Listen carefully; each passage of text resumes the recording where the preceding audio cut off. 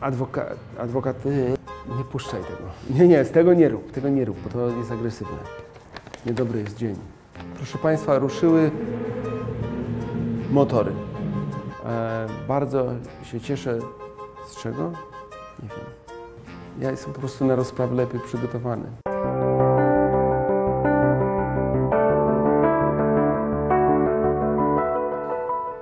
Bardzo serdecznie witam Państwa w kolejnym wideoraporcie. Jak zawsze z trwogą o to, co zrobią z nagraniem i które elementy mojego wystąpienia te mniej fortunne wykorzystają. We wrześniu odbyła się konferencja WCBL World City Bar Leaders w Tokio, w Japonii. Miałem zaszczyt wspólnie z adwokatem Michałem Wawrykiewiczem reprezentować Izbę Adwokacką w Warszawie właśnie na tej konferencji. Po wielu staraniach, prezentacjach, rozmowach kuluarowych udało się przekonać kolegów i koleżanki z innych izb na świecie, by konferencja w 2019 roku odbyła się właśnie u nas, właśnie w Warszawie i we współpracy z Okręgową Izbą Radców Prawnych.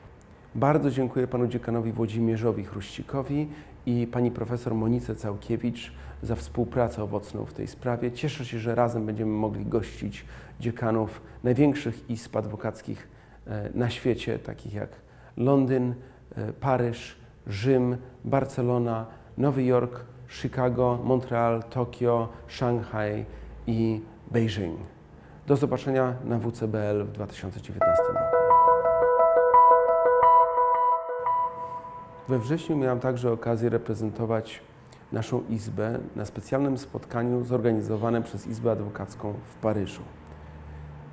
Na zaproszenie pana dziekana Frédéric Sicard wraz z byłym prezesem Trybunału Konstytucyjnego Jerzym Stępniem i panem profesorem Krystianem Markiewiczem, e, prezesem Justicja. Mieliśmy okazję uczestniczyć w rozmowach z adwokatami paryskimi o praworządności, niezależności sądów i o trójpodziale władz.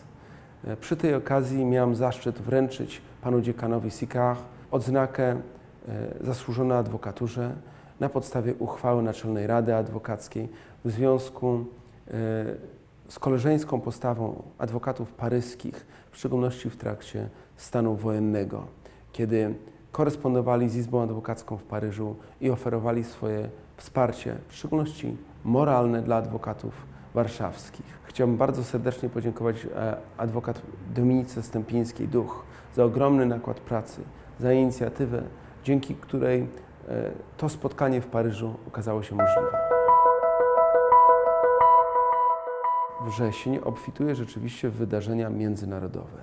Na zaproszenie Global Network for Public Law, Fundacji Wyszehradzkiej i rządu holenderskiego e, Katarzyna Gajowniczek-Pruszyńska, wicedziekan naszej Rady i adwokat y, Sylwia Gregorczyk-Abram, koordynatorka do spraw współpracy z organizacjami pozarządowymi, reprezentowały naszą Izbę na konferencji w Gruzji, w Tbilisi. Konferencja dotyczyła współpracy pomiędzy środowiskami pozarządowymi a środowiskami prawniczymi, szczególnie adwokatami w krajach Grupy Wyszehradzkiej oraz Gruzji. Bardzo dziękuję pani mecenas Sylwii Gregorczyk-Abram za ogromną pracę przy organizacji tego projektu. We wrześniu odbyła się też ogólnopolska Spartakiada Prawników w Lublinie. Wzięło w niej udział ponad 500 prawników z całej Polski, a naszą izbę reprezentowało 10 adwokatów i dwoje aplikantów adwokackich. Proszę Państwa, trzeba wymienić osoby, które miały wybitne wyniki z naszej izby w klasyfikacji indywidualnej. Jest ich tyle i tyle medali, że muszę korzystać ze ściągi, licząc na Państwa wyrozumiałość. I tak, e, Najwyższą pozycję z naszej izby zajęła pani mecenas Martyna Stryjewska, zdobywając aż pięć medali. Bardzo gratuluję pani mecenas. Duże sukcesy odniosły także adwokat Aleksandra Obara-Żu oraz adwokat Marta Tomkiewicz, każda po trzy medale. Po dwa medale zdobyli adwokat Magdalena Falkowska oraz adwokat Bartosz Jakubek, a po jednym medalu adwokat Monika Malińska, adwokat Piotr Warcho, adwokat Piotr Fidura, aplikant adwokacki Piotr Babiarz oraz aplikant adwokacki Paweł Bobrowski. Szapoba. Szczególne emocje towarzyszyły finałowi y, z siatkówki kobiet, gdzie dwie drużyny z naszej izby musiały się ze sobą zmierzyć. W przyszłym roku Spartakiada Prawników odbędzie się w Kielcach albo w Opolu. Czekamy na informacje i zachęcamy wszystkich adwokatów i aplikantów naszej Izby do czynnego udziału. Po wakacyjnej przerwie ruszyły wykłady prowadzone przez Komisję Doskonalenia Zawodowego. Zachęcam Państwa do e, udziału.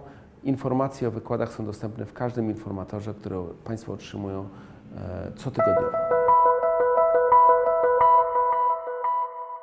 Chciałem bardzo serdecznie powitać 594 nowych członków naszej Izby. To jest osoby, które zdały egzamin na aplikację adwokacką. Egzamin nie był łatwy, zdało tylko 57% przystępujących do egzaminów. Bardzo serdecznie Państwa witam, gratuluję i zachęcam do czynnego udziału w życiu samorządowym. Adwokaci i adwokatki naszej Izby zostali nominowani do wyjątkowej międzynarodowej nagrody przyznawanej każdego roku przez Public Interest Law Institute. Nagrody Award for Exemplary Partnership in the Public Interest. Nominacja dotyczy projektu Na granicy. Projektu, w którym adwokaci i adwokatki naszej Izby pomagali pro bono rodzinom czeczeńskim poszukującym ochrony międzynarodowej i oczekującym na granicy białoruskiej i polskiej. Projekt ten realizowany jest przez Okręgową Radę Adwokacką wspólnie z Helsińską Fundacją Praw Człowieka, Stowarzyszeniem Interwencji Prawnej, Human Rights Constanta i Fundacją Międzynarodowa Inicjatywa Humanitarna. Bardzo serdecznie dziękuję i gratuluję wszystkim tym adwokatom, kolegom i koleżankom naszej Izby, którzy się zaangażowali w ten projekt, pokazując najlepszą stronę adwokatury i szczególnie serdecznie dziękuję pani mecenas Sylwii Grygorczyk-Abram za ciężką pracę nad tym projektem. 4 października odbyło się zorganizowane przez Rzecznika Praw Obywatelskich szkolenie z zakresu prawa karnego wykonawczego dla aplikantów naszej Izby. Spotkanie otworzył Rzecznik Praw Obywatelskich oraz pani dziekan Katarzyna Gajowniczek-Pruszyńska. Zajęcia prowadziła m.in. pani dr Hanna Machińska, e, zastępczyni Rzecznika Praw Obywatelskich. Ogromnie dziękuję panu Rzecznikowi za pomysł, za zaangażowanie i dziękuję aplikantom, którzy wzięli udział w szkoleniu. Liczymy na dalszą owocną współpracę z RPO.